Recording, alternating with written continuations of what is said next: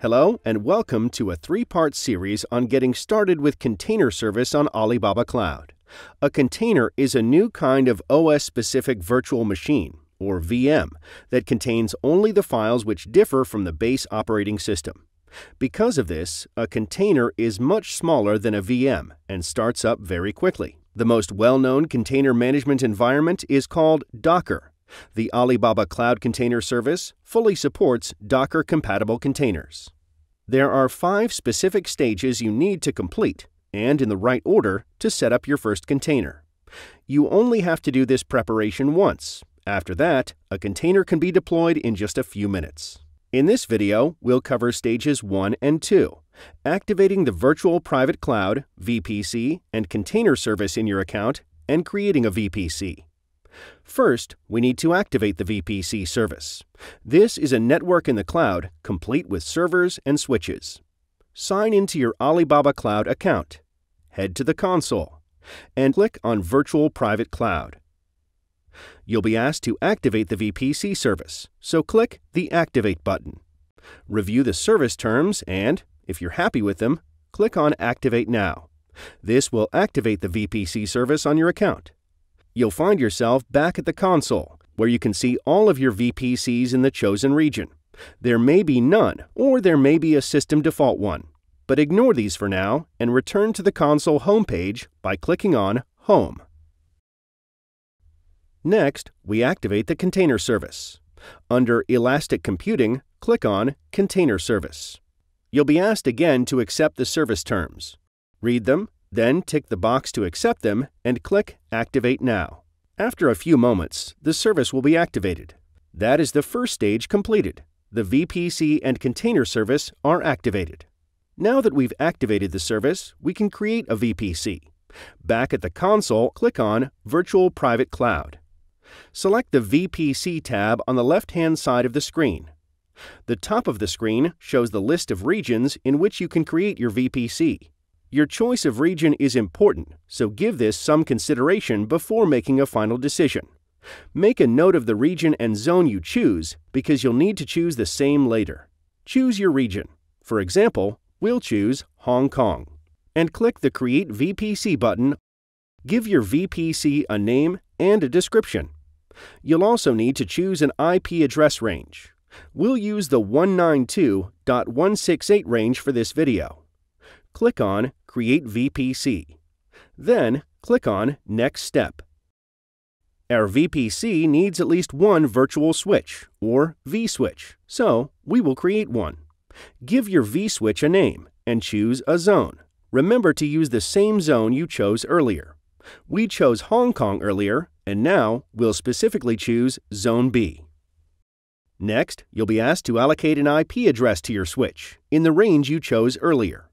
For this example, we'll use 192.168.10.0 forward slash 24, which allows it to control up to 252 virtual devices. Then click on Create vSwitch. You should see a message that your VPC has been successfully created.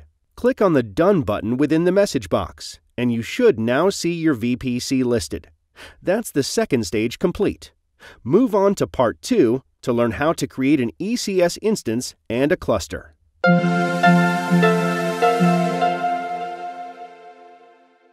In Part 2, we'll cover stages 3 and 4, how to create an Elastic Compute Service, or ECS, instance, and then a cluster. First, we'll create an ECS instance, i.e., a virtual server, within our VPC. On the main console screen under Elastic Computing, click on the Elastic Compute Service. Under Instances, click on Create Instance. Remember to choose the same region and zone as before. Scroll down and choose an instance type. For this example, we'll choose a tiny instance, one vCPU core, and 1 GB of RAM. Now, we need to choose a network type. You will probably find that the only type available to you is VPC. Then, choose your VPC and vSwitch that we created earlier. Next, choose a security group. A security group is a collection of firewall rules that allows you to control access to your ECS instance. For now, we'll just choose the default Security Group 2 Customized Port option. Tick the boxes to enable access to ports 80 and 443. We'll be creating a web server container later, and it will need these ports open.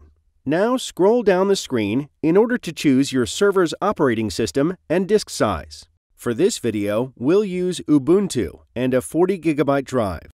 Scroll down the screen again and choose a security setting. For the sake of simplicity, in this example, we will choose Password for now. Scroll down the screen again to choose the duration of your ECS instance and to assign it a name. Now, click the Buy Now button and check that all is correct. To finish, click on Place Order and then click on the Pay button on the screen that follows. We now have an ECS instance click on the Console button. The next stage that we need to complete before using the container service is to create a cluster. From the main console screen, click on Container Service. Then, click on the Create Cluster button. Give your cluster a name. Remember to choose the same region and zone that you chose earlier. Underneath the network type setting, select the VPC and vSwitch that you created earlier. Scroll down to the Add Node section and click on the Add Existing Instance link.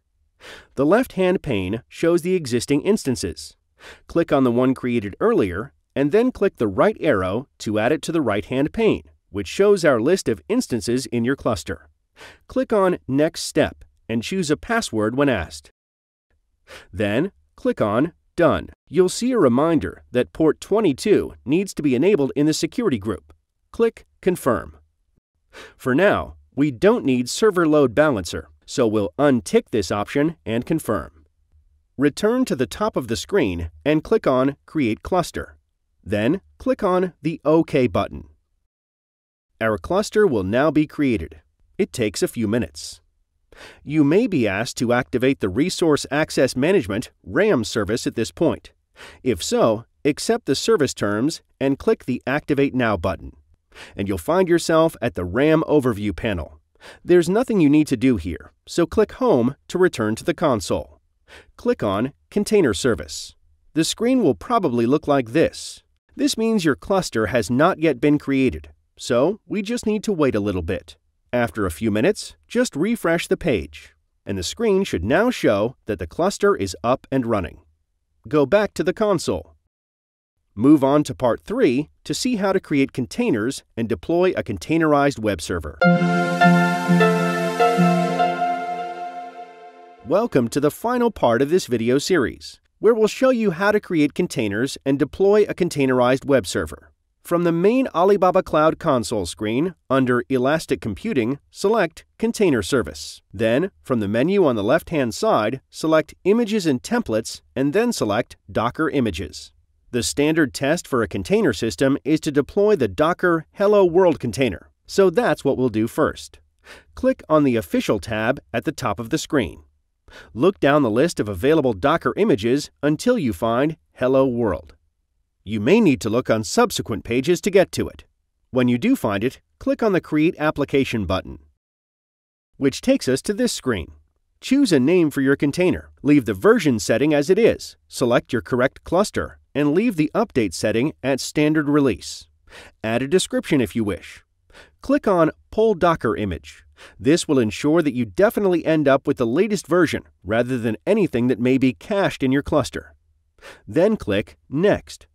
The settings on this configuration screen can be left at their default. Just click on the orange Create button.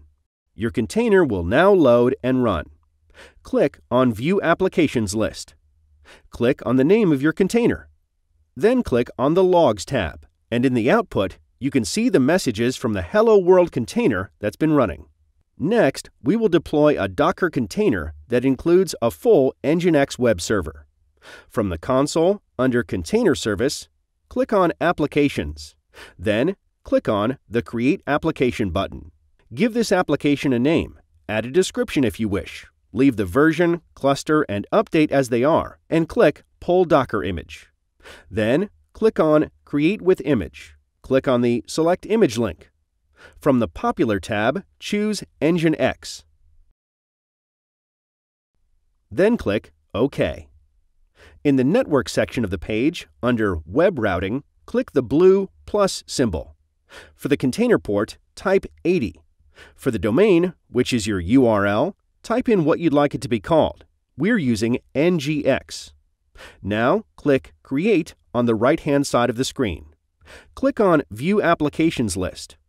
Under Applications, you should see your new container listed. Click on the name of this container, NGX, in the example here. In the Services tab, click on the name of the container again. You'll now see various pieces of information about your container, including its access endpoint. That's the address or URL of your container holding the Nginx web server. Click on the Access endpoint. You'll see the Nginx homepage.